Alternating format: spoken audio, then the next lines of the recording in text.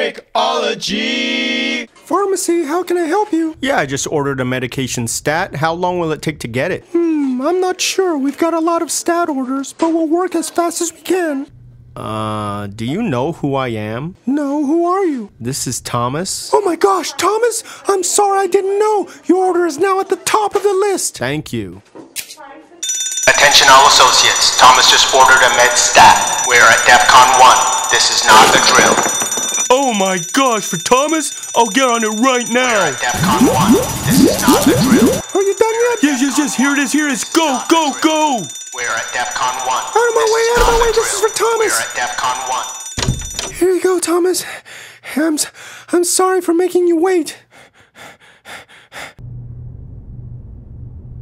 You really do live in your own little world, don't you?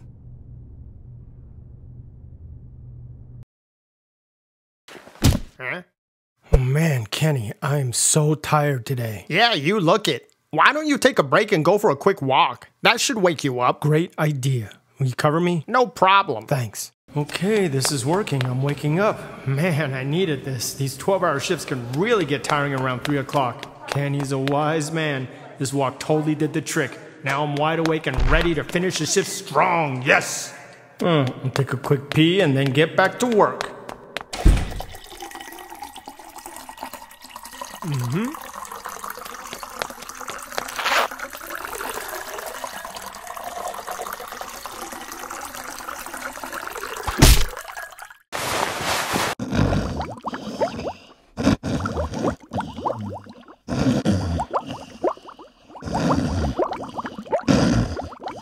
So, what brings you in today, Thomas? Well, Doc, I had a horrible day at work. This dad of the baby I had was really getting on my nerves. Not only did he call 10 times in the morning making ridiculous demands like wanting to tell me exactly how to do my job in every way, but he shows up and does the exact same thing. It got in the way of patient care, and I have to admit that that shift pushed me to my limit. well, have you considered why he's like that? What do you mean? He's clearly being controlling, which means he probably feels lost and scared. His baby is in the NICU and he can't do anything about it, so he's trying to control anything to feel better. Oh, so you're saying I should be more supportive in helping him feel more comfortable and at ease in the NICU, and that will stop his craziness? Exactly. Think you can do that next time he's there? Absolutely. Thanks, Doc.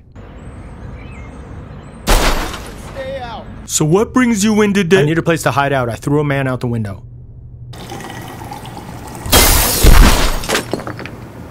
Subscribe! Subscribe to the channel. Excuse me. A little privacy, please.